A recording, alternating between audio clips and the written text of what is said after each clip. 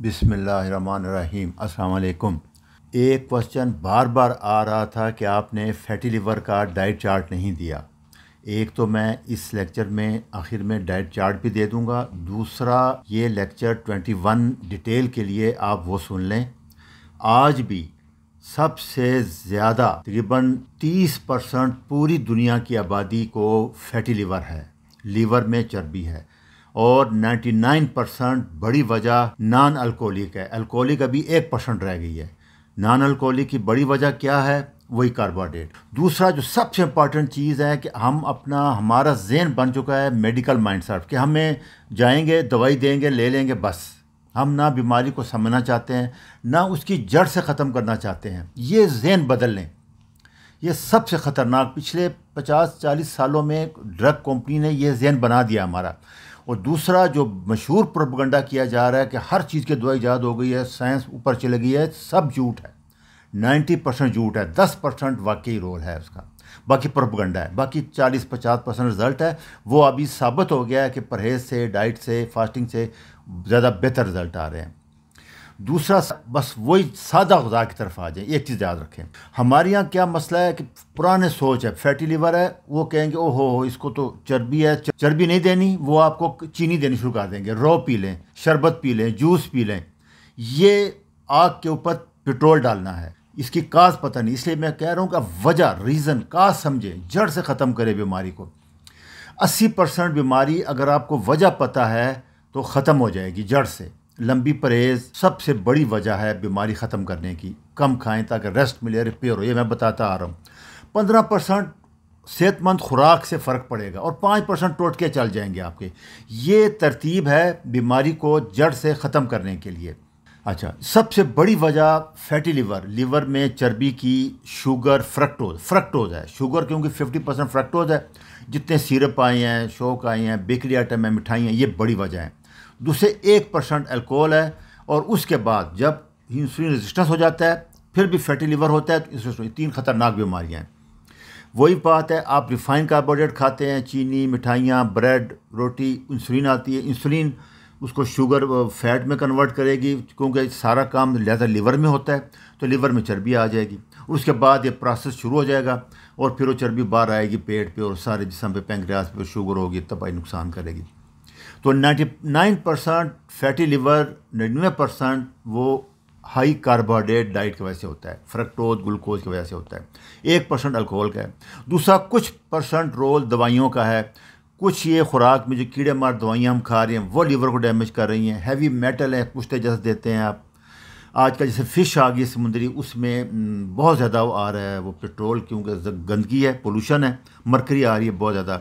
और सबसे जो ज़्यादा है वो वेटेबल आयल है। जितने ये आयल आ रहे हैं, उसमें मेगा सिक्स बहुत ज़्यादा है, बहुत सख्त लीवर को डैमेज कर देते हैं। तो सबसे ज़्यादा नॉर्मल चीज़ जो है, ये याद रखें कि एक नंबर जो है, ये नॉर्मल लीवर है। दो नंबर फैटी लीवर हो गया। उसके बाद अगर फिर भी आप नहीं बाज आ रही और कार्बोहाइड्रेट खा रहे हैं तो फिर तीन नंबर जो है, ये इन्फ्लेमेशन है स्टीटो हेपेटाइटिस कहते हैं इसको नैश भी कहते हैं नॉन अल्कोहलिक स्टीटो हेपेटाइटिस यहाँ तक नाइन्टी हंड्रेड परसेंट रिवर्सेबल है डिज़ीज़ उसके बाद सिरोटिक है, चार नंबर, ये अनरिवर्सेबल है सिरोसिस ये जहन में रख लें। और कोई लंबी चौड़ी दवाइयाँ कुछ नहीं है, आसान इलाज है तो होता क्या है कि जो लीवर की जो इन्फ्लेमेशन है, ये बहुत स्ट्रांग होती है। क्योंकि मैंने बताया था, लीवर सबसे इंपॉर्टेंट आर्गन है बॉडी का। सब कुछ, लीवर बीमार है तो 99 परसेंट बीमारियाँ आपको हो जाएँगी। क्योंकि इंसुलिन में सारी बीमारियाँ आ जाएँगी, मैं बताता आ रहा हूँ। और दूसरा स्ट्रेस की वजह से, क्योंकि कटसोल आएगा कटसोल आएगा शुगर बढ़ाएगा शुगर बढ़ाएगा इंसुलिन आएगा इंसुलिन फिर उसको फैट में कन्वर्ट करेगी। और सबसे बड़ी वजह आजकल क्रॉनिक स्ट्रेस है। अच्छा तशखीस करने के लिए सबसे ज़्यादा आसान तरीका तो ये है, अगर आपका पेट बड़ा है, आप नीचे देखिए, और आपको पाँव नज़र ना आए आपके तो आपको फैटी लिवर है और ये बेली फैट भी है। दूसरा जो अगर कंफर्म करना चाहते हैं तो अल्ट्रासाउंड अब्डामन का सिंपल टेस्ट है, किसी और टेस्ट की ज़रूरत नहीं है अल्ट्रासाउंड पे फैटी लिवर आ जाएगा। और जो सेकंड स्टेज आएगी नैश जो है, उसमें एंजाइम बढ़ते हैं। पहले स्टेज में A L T S T ये ब्लड के टेस्ट हैं, ये नॉर्मल होते हैं, ये पे बढ़ते हैं।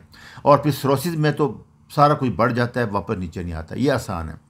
ट्रीटमेंट वही है जो बताता आ रहा हूँ। मैंने कीटो डाइट बार बार बताया था, लेकिन लोग कहते नहीं। तो उसमें जो ग्रीन लीव वेजिटेबल हैं क्रूसीफेरस वेजिटेबल हैं, जैसे बंद गोभी है ब्रोकली है, फूल गोभी है, ये सबज पत्ते हैं, सलाद है, ये बेहतरीन है, ये डिटॉक्सीफाई करते हैं। सल्वर, जैसे हल्दी है लहसन है, प्याज हैं ये बेहतरीन है लीवर को डिटॉक्सीफाई करने के लिए। उसके बाद सबसे इंपॉर्टेंट फिर याद रखना 16 से 18 घंटे फास्टिंग ताकि लीवर रिपेयर करे, उसको काम करने दे रिजनरेट करने दे। दूसरा फ़ायदा होता है इंसुलिन लो हो जाएगी फास्टिंग इंसुलिन लो होगी रेस्ट मिलेगा लीवर रिपेयर करेगा। ये आपने एक महीने तक हर हाल में करनी है। और फिर एक्सरसाइज थोड़ी बहुत करनी है, ताकि बॉडी फैट कट हो तीसरा ग्रीन टी में कहते हैं कि फाइटोन्यूट्रेंट होते हैं ई जी सी जी होता है। और सबसे इंपॉर्टेंट फिर हम बता दो विटामिन डी, दस हज़ार यूनिट डेली आपने लेना है। ओमेगा थ्री फैट बहुत ज़रूरी हैं। आयल में ओमेगा सिक्स होते हैं। वालनट हो गया, चिया सीड हो गए, फर्मेंटेड अचार वगैरह जैसे मैं कहता हूँ, बंद गोभी, पिकल, ये सबसे बेहतरीन डाइट है इसके लिए। दूसरा, जैसे आप अंडे ले सकते हैं, गोश्त ले सकते हैं, मछली, chicken olive oil coconut oil desi घी, वही कीटो डाइट है तकरीबन। फिर लेमन साल्ट वाटर तीन लीटर डेली पीना है आपने एक चमचा पिंक मन साल्ट डेढ़, दो लीटर पानी में डाल के सात दिन पीते रहें और फिर दो खाने ही खाने हैं। ये मोटी मोटी ये डाइट चार्ट है। सुबह सुबह उठ के तीस चालीस मिनट वॉक करें आप, फिर दो तीन अंडे बॉयल या फ्राई खा लें, विटामिन डी कैप्सूल ले लें और सौ ग्राम आप मीट या चिकन फ़िश जो भी खाना चाहते हैं और एक, दो प्याले दो तीन सौ ग्राम वेजिटेबल ले लें। काली चाय या सब्ज़ चाय पी लें। ये आपका नाश्ता हो गया। पानियाँ पीते रहेंगे। उसके बाद शाम को खाना, दूसरा खाना है आपने पाँच बजे तक हर हाल में खा लेना ताकि पाँच से सुबह नौ, दस बजे तक सोलह, अठारह घंटे फास्टिंग हो जाए आपकी। वही डेढ़ सौ, दो सौ ग्राम मीट ले लें आप, सब्ज़ियाँ ले लें पाँच छः सौ ग्राम, तीन, चार अखरोट ले लें और फिर आपने रात को सोने से पहले पच्चीस, बीस मिनट वॉक कर लेनी है। और एक चीज़ फिर बात रखना कि लिवर वाद आर्गन है जो हंड्रेड परसेंट साल, दो साल में वापस नया हो जाएगा, बिल्कुल विरजन। इसलिए इसको सुस्ती ना करें, इसको लेट ना करें, और आसान सी परहेज़ है, कुछ भी नहीं करना आपने। और कोशिश करें कि सब्ज़ियाँ, ये चीज़ें अगर ऑर्गेनिक मिल जाएँ उनके ऊपर स्प्रे ना हुआ हो तो वो ज़्यादा बेहतर हो जाएगी, लिवर टॉक्सिटी कम हो जाए अच्छा जी, अल्लाह हाफिज़।